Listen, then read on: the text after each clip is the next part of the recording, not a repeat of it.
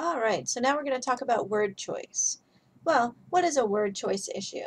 This is what happens when you use a word in a particular context where the word's meaning or tone is just nonsensical or inappropriate. It just doesn't make any sense. How can you tell if you have a word choice issue? Well, the first thing you can do is read your writing very carefully and critically. Make sure that you know the meaning of every single word that you use. And you also want to make sure that your words are appropriate. If they need to be formal, make sure they're formal or informal. If they need to be technical, non-technical, just make sure that they are suited to your writing situation. Another thing you should do is ask someone else to read your writing, but make sure they do it carefully and critically. Before you do that, though, you need to explain the writing situation to the reader. You want to answer questions like, well, what is this text for? Or if it's a school paper, what are the instructions? If you let the reader know what the purpose of the writing is, then it gives them a better idea of what kind of terminology is appropriate or what tone is going to be effective for that particular paper. So what are some common word choice issues? Well, the first one, the biggest one, is relying way too much on the thesaurus. Now, this is not to say that the thesaurus is a bad idea. It's not. It's wonderful if used appropriately. When I say relying too much on the thesaurus, I mean when you're typing in Microsoft Word and you realize you've used a word twice and then you just click thesaurus and randomly pick the top word that comes up. First of all, that word may mean something completely different. Like you may not see, say exactly what you mean. Also, you risk using the word in a grammatically incorrect way. So let's take a look at this. Imagine that I want to fancy up the previous sentence, that you also risk using the word in a grammatically incorrect way. Well, a thesaurus on my desk gives me speculate as a synonym for risk. Okay, but then my sentence ends up being you also speculate using a word in a grammatically incorrect way. That sentence makes absolutely no sense. Speculate only means risk in certain situations, like real estate gambling.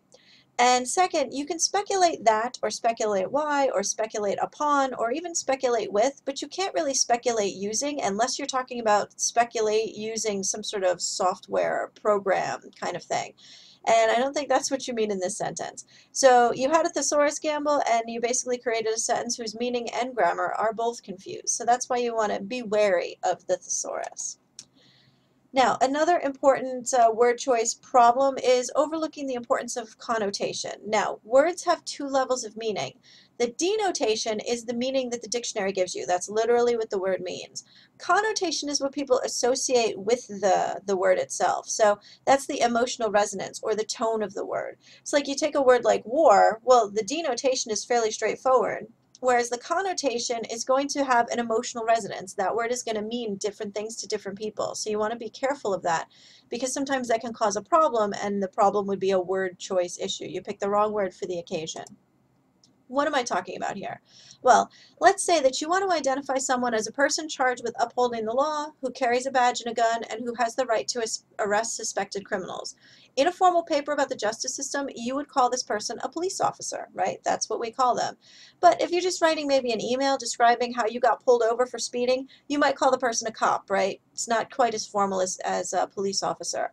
And maybe if you're writing some sort of angry personal blog post about campus police pepper spraying somebody, you might call this person a pig. Now, all of these words can mean the same thing. They refer to a person who is upholding the law, who carries a badge and a gun, and has the right to arrest people.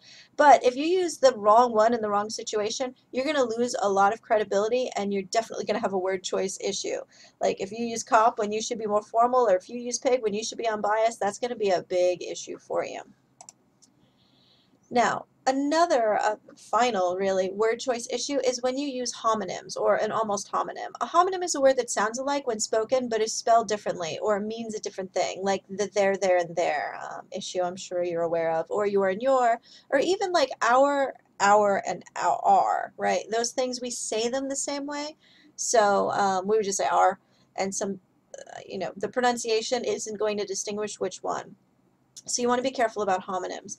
Now this may seem silly, but if you've only ever heard a word and you've never actually seen it, you might end up with an error like this. Like somebody might be lactose intolerant for lactose intolerant. Or let me tell you, I read an entire paper one time about soap poppers, and it took me a while to figure out that the person actually meant soap operas. So you want to be careful about those homonyms when it comes to word choice issues.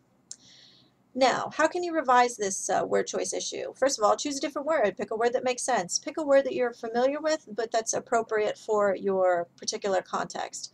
Also, look up those words. Just don't rely on the thesaurus to spit out a word. Look it up and make sure that that's what it means. Or you can increase your vocabulary, learn some new words, try those out. Or if you're doing a research paper, use words from sources, like use the vocabulary that's appropriate for your particular um, area, whatever it is you're writing about. So those are some things you can do. Now, are they always wrong? Only when they confuse your reader. A word choice error can make your reader lose trust in your ability to write knowledgeably about your subject. In other words, this goes down to uh, credibility here, ethos. Um, for example, if, if you don't know that someone who leaves a, like a vicious attack in a blog comment is called a troll, then somebody might call you a noob. Well, if you don't know what a troll is or you don't know what a noob is and you use them in the wrong context, then you're going to lose a lot of credibility eh, with uh, your readers. So they're not wrong, but they make your writing way less effective than it could be. So there are some writing situations when you can get like a great effect by using an unexpected word that some people would be like, oh, that's wrong. For example, let's look at this ad for the Beetle. This, this the Volkswagen Beetle ad from 1960, and it shows a black and white picture of the car with a caption, lemon. Take a look at this. So there it is, lemon. That's not something you generally associate with a car because it seems like a word choice problem. A lemon is a faulty car, a car that's going to break down right after you buy it. Well, that's probably not what Volkswagen meant. But as it turned out, lemon was exactly the word that they intended. Their point, and it's in the small text below the caption, if uh, you want to slow the video down and read it, you can, but it's a popular ad. But the idea is that Volkswagens are so rigorously inspected that even something as minor as a, like a tiny windshield scratch makes the car a lemon they won't sell. So even though the car looks fine, they would be like, no, this one's not good enough, it's a lemon. So sometimes sometimes those word choice issues can make your point, but sometimes they can break your point. So you want to be careful. Overall, just remember, English has a huge vocabulary. Make sure you're using the right word for the occasion.